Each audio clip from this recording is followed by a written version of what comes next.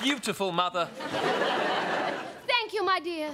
Mother, can anything harm us when the nightlight is lit? Nothing precious. they are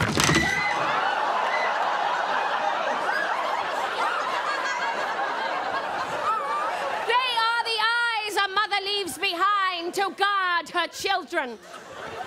Mother, you look pretty tonight. Are you tucked in, Michael? Yes, Mother. Are you comfortable? Yes, Mother. And you, Wendy? Yes, Mother. And you, sweet John, are you feeling sleepy? Good night, my dears. Dear night lights that protect my sleeping babes, burn clear and steadfast tonight.